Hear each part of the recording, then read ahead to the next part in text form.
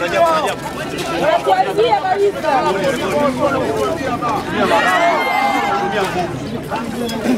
Idi mambo. Sasa. Sina mic mimi. Idi. Ngoja tusikilizane. Nilidhani nilidhani press conference ingekuwa ya amani sana, na mimi nia yangu wala haikuwa mbaya na, na serikali yangu na chama changu. Nia yangu ilikuwa ni kuwaeleza Watanzania kwamba maisha lazima yaendelee. Sasa wanapokuja wapuuzi wachache na wanadhani wanaweza wakakoroga hivi mambo, nataka vyombo vya ulinzi na usalama vya nchi hii viangalie wanachokifanya. Hakiwezi kuwa sawa. Sijasema nafanya lolote. Mimi niliteuliwa, sikuulizwa wakati nateuliwa. Ndio. Kwa hiyo wakati anataka kuweka mtanzania mwingine, sina sababu ya kuulizwa Ndio. na wala sina kinyongo na rais wangu. Sijasema chochote kwamba na kinyongo. Kwa nini kuna watu wanataka kukaa mahali wao ndio waamuzi wa mawazo ya vijana wa nchi hii? Vijana wa Kitanzania lazima wasikie, we have nothing, nothing to fear except the fear itself. Hatuna cha kuogopa isipokuwa woga wenyewe. Upuzi wanakuja hapa, nimekuja nimesimama, mtu anakuja hata anatoa bastola, rudi kwenye gari. Nani amekupa mamlaka hayo? Unalipwa kwa kodi ya kwetu, wavuja jasho hapa, alafu anakuja mpuzi anatoa bastola, rudi kwenye gari. How? You know how we fought for this country. Yeah. Unajua nimekwenda miezi 28 nalala porini, angalieni mkono wangu. Nimepigana kuirudisha CCM madarakani, anakuja mpuzi mmoja anatoa bastola hapo.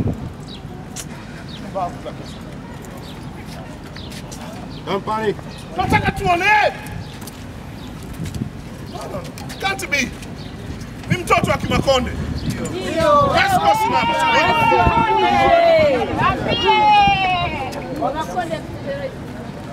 Sasa naomba mnisikilize. Mimi Nape nataka kurudia, sina kinyongo na uamuzi wa rais wangu,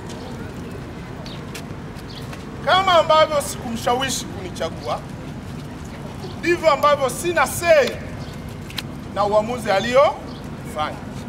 Lakini wakati anaunda baraza, walikuwepo watu wengi sana alipoamua kunichukua mimi, kuna watu walikuwepo na walikubali.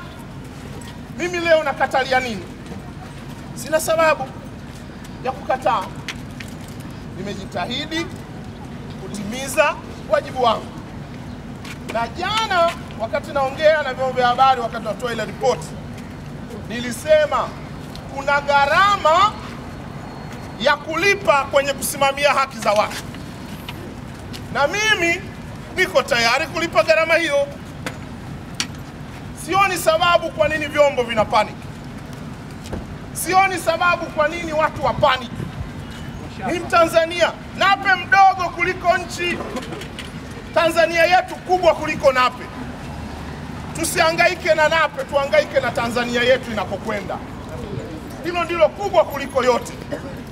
Uzalendo wa Nape kwa, kwa nchi yangu hauwezi kutuliwa mashaka hata kidogo na vijana wahuni wanaokuja wananyosha bastola kwa Watanzania walio huku.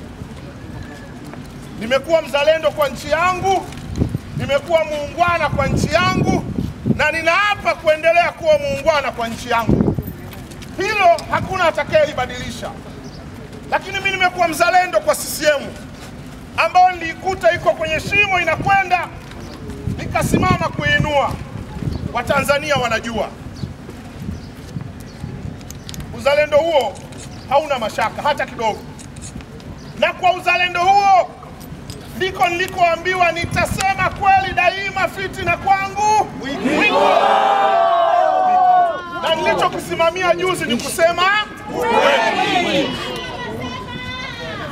Kinachotukutanisha, kinachowakutanisha watu sio magwanda ya kijani, ni imani kwamba tuwe wa kweli daima, tuachane na fitina, na hicho ndicho nachokisimamia. Siwezi kukana, nikikana ni hame. Hili la kwanza kubwa sana, Cloud, tulia. nitasema kweli daima, fitina kwangu mwingi, na hiyo ndio nitakaosimamia. Lakini mimi mzalendo kwa nafsi yangu mwenyewe, nimefundishwa na mzee Nauye marehemu kusema kweli na kusimamia katika kile ninachokiamini.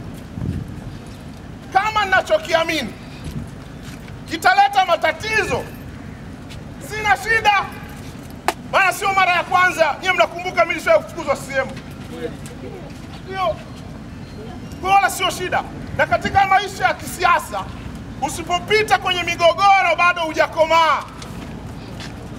Shuruti mbegu yote lazima ioze, ndiyo iote. Sasa mbegu niliyoipanda kwa hakika itaota. Mbegu ya kusimamia haki kwa hakika itaota. Vijana wenzangu wa Kitanzania, hamna la kuogopa, simamieni kile mnachokiamini. Tanzania ni yetu, nchi hii ni yetu. Mwalimu alikuwepo akaondoka, Kawawa na wenzake kina mzee Nauye walikuwepo wakaondoka, na sisi tutaondoka. Swala la kujiuliza, tunawaachia Watanzania nchi ya namna gani? Hilo ndio kubwa sana. Tunawaachia watoto wetu na wajukuu zetu nchi ya namna gani? Uamuzi wa namna ya nchi ya kuwaachia ni wa kwetu wenyewe. Sasa lengo la kuja hapa la kwangu la kwanza ilikuwa kumpongeza rais kwa uamuzi aliofanya na kumshukuru kwa kuniamini kwa mwaka mmoja, na wale ambao mlitumwa, sikilizeni mka- mkawaambia. Kwa mwaka mmoja ameniamini kama kijana wake, akanipa heshima ya kuingia kwenye baraza moja kwa moja.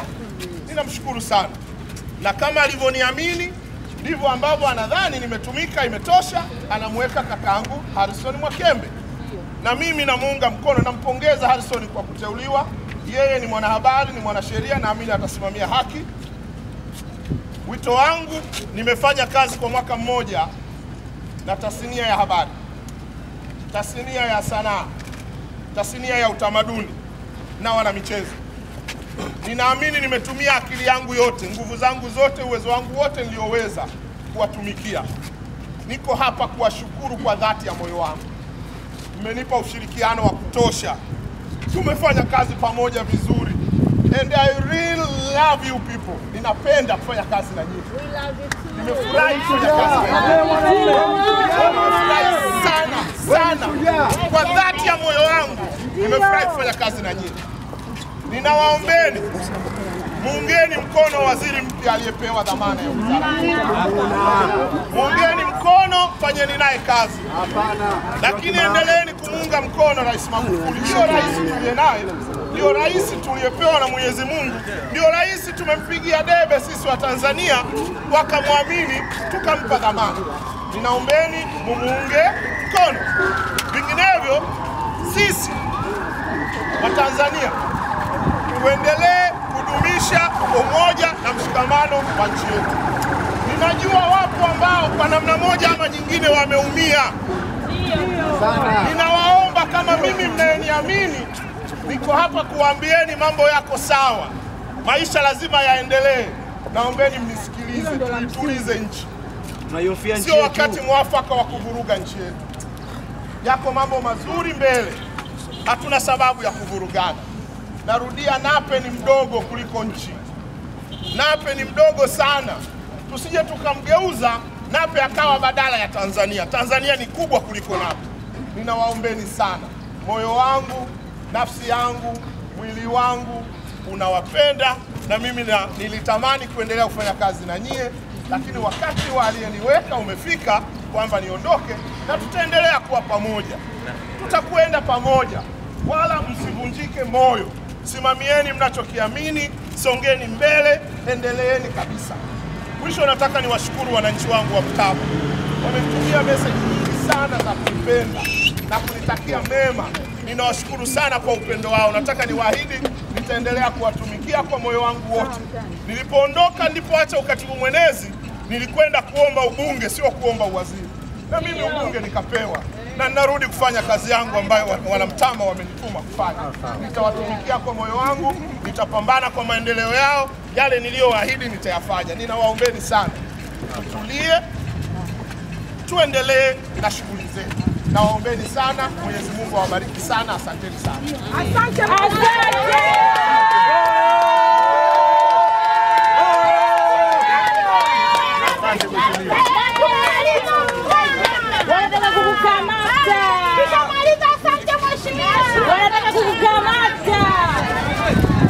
Wanataka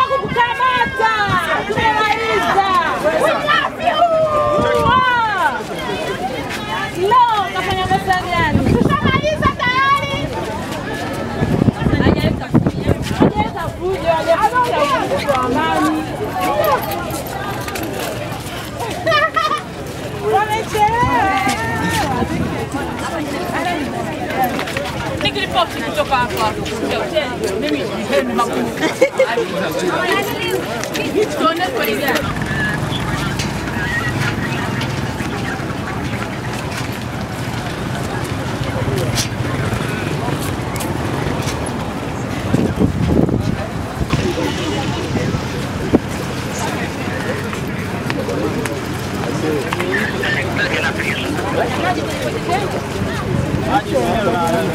mimi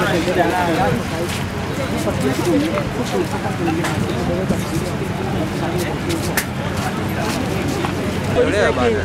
Tuone kweli gani? Mbona wamemblock? Kumbe kumkamata mwenyewe.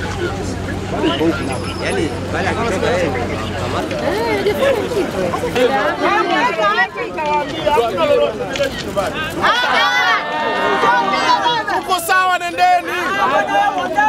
Kifanya hivi hamtanisaidia mimi. Asante, asante. Namna ya kunisaidia mimi ni nyie kuondoka na kwenda kwenye kazi zenu, ndio namna ya kunisaidia. Huyu anapitia na kwenda kwake, na mimi naenda kwangu. Sawa, eh? Hadi uondoke. Naombeni sana, nendeni mkatulie. Huyu anapitia anaondoka, na mimi naondoka na kwenda kwangu. Sawa jamani?